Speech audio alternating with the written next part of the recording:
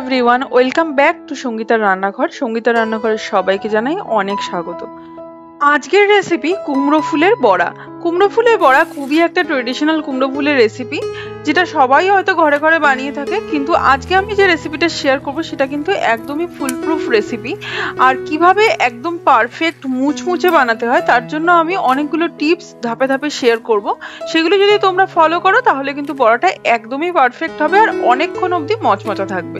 সেটা আমার গ্যারেন্টি কুমড়ো ফুলগুলোকে গার্ডেন থেকে তুলে আনার পরে তলার যে স্টেমটা মানে যে ডাটাটা, সেটা আমি কেটে নিলাম। এই ডাটাগুলো ফেলে দেওয়ার কোনো দরকার নেই। এগুলো যে কোনো চচ্চড়ি বা ডালে ইউজ করা যেতে পারে। তারপরে কুমড়ো ফুলটাকে এইভাবে মাঝখান থেকে একটুখানি চিড়ে নিয়ে মাঝখানে যে পরাগ রেণুটা থাকে, সেটাকে আমি বার করে দিচ্ছি। আর এই এই রান্নার ক্ষেত্রে, এই বড়াটার ক্ষেত্রে বোটাগুলো ফেলছি না, বোটাগুলো রাখছি। কারণ বোটাগুলো সহ যদি বড়াটা করা হয়, তাহলে দেখতে একটু বেশি সুন্দর লাগে বলে আমার মনে হয়। আর পাপড়িগুলো গুলো এক জায়গায় খুব সুন্দরভাবে থাকে। যদি তোমরা না চাও, ওটা অবশ্যই ফেলে করতে পারো, তাতে কোনো সমস্যা নেই। তবে ওটা দিয়ে করলে একটু দেখতে ভালো লাগে, এই যা। এখানে একটা ইনফরমেশন শেয়ার করি। কুমড়ো ফুল যারা একদম নতুন তুলছো গার্ডেন থেকে, বাজার থেকে না কিনে, যারা, যাদের বাড়িতে হয় তুলছো, তারা কেউ যদি নতুন একদম বাগান করছ, তাদের জন্য বলছি, কুমড়ো ফুল কিন্তু যেটার নিচে একটু কুমড়োর মতন অংশ গোল থাকে, সেগুলোকে বলে ফিমেল ফুল, সেগুলো কখনো তুলতে নেই, কারণ সেগুলো থেকেই কিন্তু কুমড়োটা হয়। তাই আমরা যে ফুলগুলো বাজারে বিক্রি হয় বা তুলে রান্না করি, সেগুলো হলো মেল ফুল। মেল ফুলের তলায় কিন্তু কোনো রকম জাস্ট নর্মাল ফুলটা থাকে, কোনো রকম ছোট ফলের অংশ থাকে না।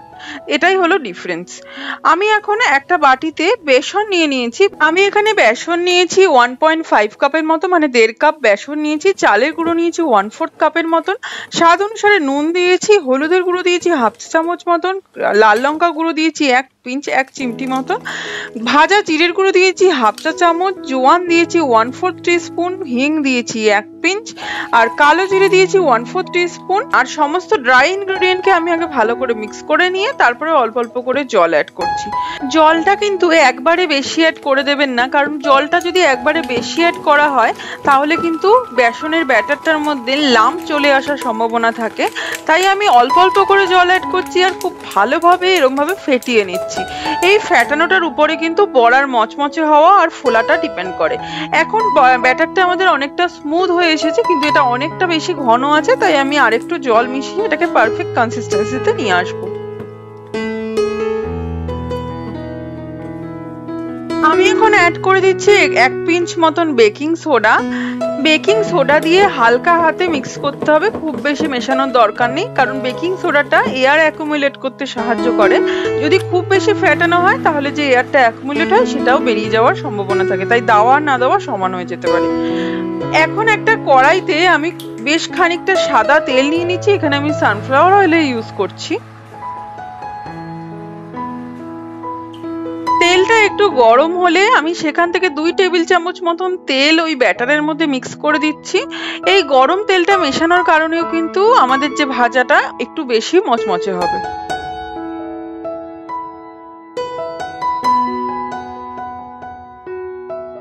কুমড়ো ফুলগুলোকে এখন আমি ভালো করে ধুয়ে জল ঝরিয়ে নিয়ে চলে এসেছি। এখন ভালো করে ব্যাটারে এরকম ভাবে ডিপ করে গরম তেলে ছেড়ে দেবো। তবে এক্সেস ব্যাটারটাকে একটু এরকম ভাবে ফেলে নিতে হবে না হলে অতিরিক্ত বেসন হয়ে যাবে। তারপরে এরকমভাবে তেলে ছেড়ে দেবো।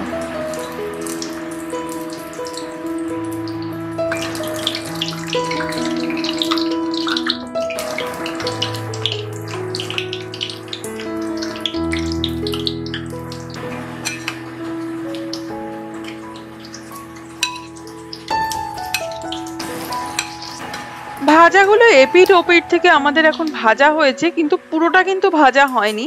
এটা এই seventy five to eighty percent মতন কুক হয়ে গেছে। বাকিটা আমি সেকেন্ড খেপে আরেকবার ভাজবো।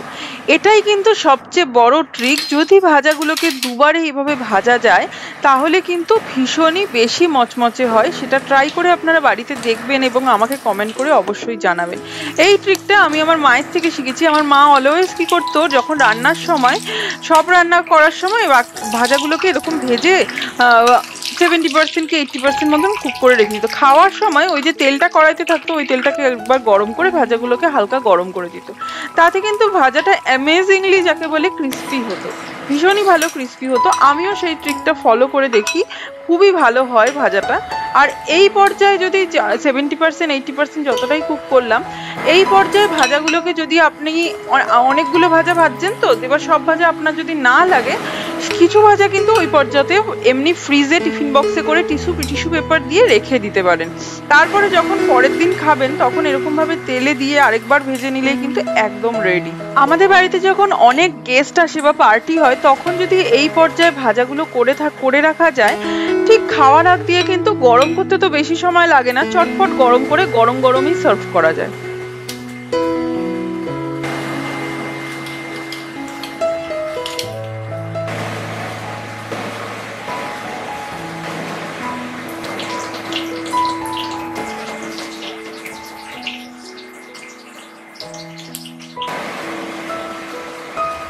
আমি এখন কয়েকটা কাঁচা লঙ্কাকে এই গরম তেলে একটু ভেজে নিচ্ছি। এই কাঁচা লঙ্কাগুলো কিন্তু ভাজার সাথে কামড় দিয়ে খেতে কিন্তু দারুণ লাগে।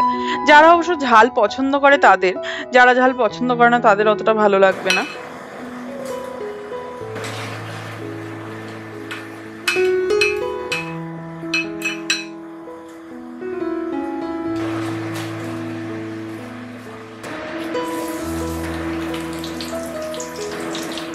আমি এখন ভাজাগুলোকে গরম গরম সার্ভ করে দেব।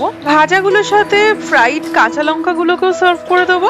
আর এর ওপর একটুখানি অবশ্যই চাট মশলা স্প্রিঙ্কেল করে দিয়ে দেখবেন, ভীষণই টেস্টি লাগে।